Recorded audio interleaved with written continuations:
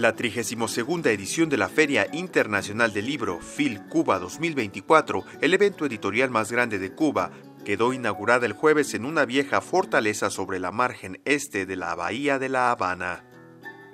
La cita, dedicada este año a los cubanos Isabel Monal, investigadora e intelectual, y Francisco López Sacha, escritor y profesor, estará abierta en la capital de la isla en 17 subsedes hasta el próximo día 25 y en marzo tendrá ediciones en todas las provincias y el municipio especial de la Isla de la Juventud.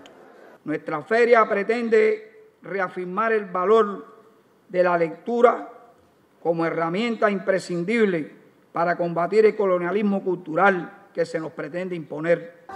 Al hablar a nombre de Brasil, país invitado de honor a la cita, la ministra de Cultura, Margaret Meneses, aseguró que la presencia de su país en FIL Cuba 2024 fortalece el compromiso de estrechar las relaciones bilaterales en el campo de la cultura.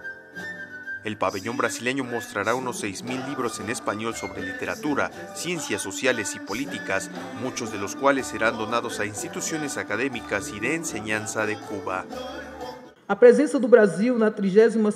La presencia de Brasil en la 32 edición de la Feria Internacional del Libro de La Habana fortalece nuestro compromiso de estrechar nuestras relaciones también en el campo de la cultura.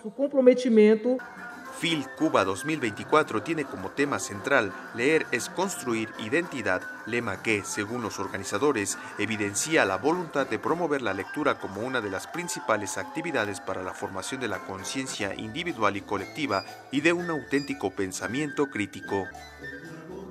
Con información de la oficina en La Habana, Cuba.